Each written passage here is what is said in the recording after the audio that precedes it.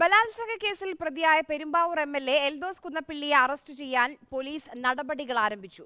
പരാതിക്കാരിയുടെ രഹസ്യമൊഴി രേഖപ്പെടുത്തും.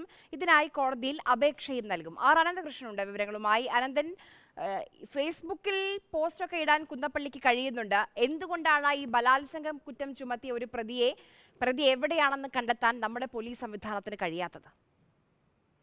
Arya Perumbavoor M L A Eldhose കുന്നപ്പള്ളിലിനെതിരെ ആദ്യമുണ്ടായത് ഒരു മർദ്ദന പരാതിയായിരുന്നു.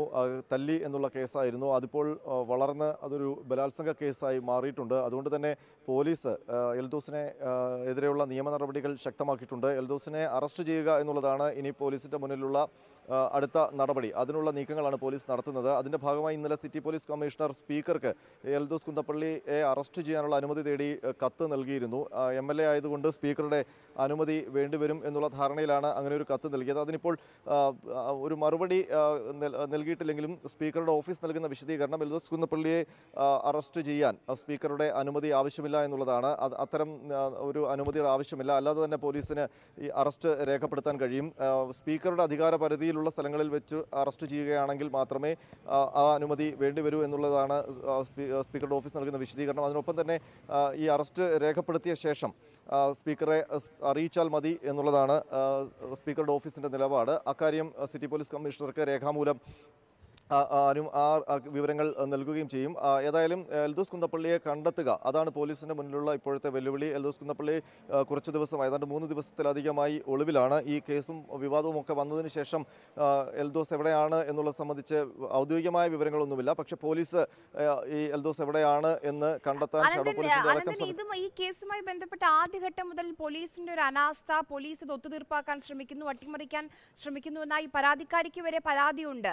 അത് അവർ പൊതുസമൂഹത്തിന് മുന്നിൽ ഉന്നയിച്ചതുമാണ്. ഇവിടെ ഒരു സ്ഥലം മാറ്റം വരെ നടന്നു. ഇതുമായി ബന്ധപ്പെട്ട് ഈ പൂജാവധി കാരണം മൊഴിയെടുക്കൽ വൈകുന്നു. അങ്ങനെ പലതും പോലീസിനെതിരെ ആരോപണങ്ങൾ വരികയാണ്.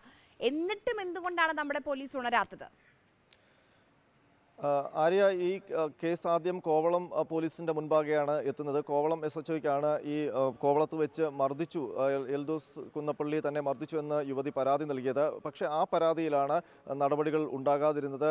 അത് ഒത്തുതീർപ്പാക്കാനുള്ള ശ്രമം എസ് എച്ച് ഒയുടെ മുൻകൈയോടെ തന്നെ നടന്നു എന്നുള്ള ആരോപണം ഉയർന്നത്. അതിനുശേഷം കോവളം എസ് എച്ച് ഒയെ സ്ഥലം മാറ്റുകയും വകുപ്പ് തല അന്വേഷണം ആരംഭിക്കുകയും. ഇന്നലെ വകുപ്പ് തല അന്വേഷണത്തിന്റെ ഭാഗമായി D C R B assistant commissioner city police കമ്മീഷണർക്ക് ഈ എസ് എച്ച് ഒയുടെ ഭാഗത്ത് നിന്ന് വീഴ്ചയുണ്ടായി എന്നുള്ള പ്രാഥമിക റിപ്പോർട്ട് നൽകുകയും ചെയ്തു.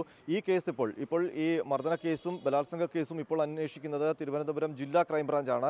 ജില്ലാ ക്രൈംബ്രാഞ്ച് അതിന്റെ നടപടികൾ വളരെ വേഗത്തോടു കൂടിയാണ് നടത്തുന്നത്. അതിനിപ്പോൾ മറ്റ് തടസ്സങ്ങൾ ഒന്നും തന്നെ ഇല്ല. എൽദോസ് കുന്നപ്പള്ളി എവിടെയാണ്? ഇന്നലെയാണ് ഈ ബലാത്സംഗ കേസ് രജിസ്റ്റർ ചെയ്തത്. അതിനുശേഷം എൽദോസ് കുന്നപ്പള്ളി എവിടെയാണ് എന്നുള്ള എന്ന് കണ്ടെത്താനുള്ള ശ്രമമാണ് ഇപ്പോൾ നടത്തുന്നത്. നമുക്കറിയാൻ കഴിയുന്നത് എൽദോസ് കുന്നപ്പള്ളിയുമായി ബന്ധപ്പെട്ട ചില അല്ലെങ്കിൽ എൽദോസിനെ സഹായിക്കുന്ന ചില ആൾക്കാരെ ഏതാണ്ട് പോലീസ് ക്രൈംബ്രാഞ്ച് ലൊക്കേറ്റ് ചെയ്ത് കഴിഞ്ഞു. അവരെ കസ്റ്റഡിയിലെടുക്കും. മറ്റൊന്ന് എൽദോസ് കുന്നപ്പള്ളിയുടെ മുൻകൂർ ജാമ്യാപേക്ഷ നാളെ കോടതിയുടെ മുൻപാകെ എത്തുകയാണ്. തിരുവനന്തപുരം ജില്ലാ സെഷൻസ് കോടതിയിലാണ് ഈ മുൻകൂർ ജാമ്യാപേക്ഷ വരുന്നത്. ഒരു പക്ഷേ അതുകൂടി ആ, ക്രൈംബ്രാഞ്ച് കാക്കുന്നുണ്ടാകും. ആ ഒരു നിയമ പരിരക്ഷ കൂടി അല്ലെങ്കിൽ ആ മുൻകൂർ ജാമ്യാപേക്ഷയിൽ കോടതി എന്ത് നിലപാടെടുക്കുന്നു എന്നുള്ളത് കൂടി നോക്കിയിട്ടാകും അറസ്റ്റ് പോലുള്ള നടപടികൾ ഉണ്ടാവുക. പക്ഷേ ക്രൈംബ്രാഞ്ച് നൽകുന്ന സൂചന എൽദോസ് എവിടെയാണെന്ന് കണ്ടെത്താനുള്ള ശ്രമം തുടങ്ങിക്കഴിഞ്ഞു എന്നുള്ളതാണ്. അതിനൊപ്പം തന്നെ ഈ ബലാത്സംഗ പരാതി അതുമായി ബന്ധപ്പെട്ട് പോലീ ക്രൈംബ്രാഞ്ചിനാണ് യുവതി മൊഴി നൽകിയിരിക്കുന്നത്. ആ മൊഴി കുറച്ചുകൂടി ആധികാരികമാക്കാൻ ഇന്ന് മജിസ്ട്രേറ്റിന് മുൻപാകെ എത്തിച്ച് വൺ സിക്സ്റ്റി ഫോർ സ്റ്റേറ്റ്മെന്റ് രേഖപ്പെടുത്തും. അത് നെയ്യാറ്റിൻകര കോടതിയിലാണ് അതിന്റെ നടപടികൾ നടക്കുക.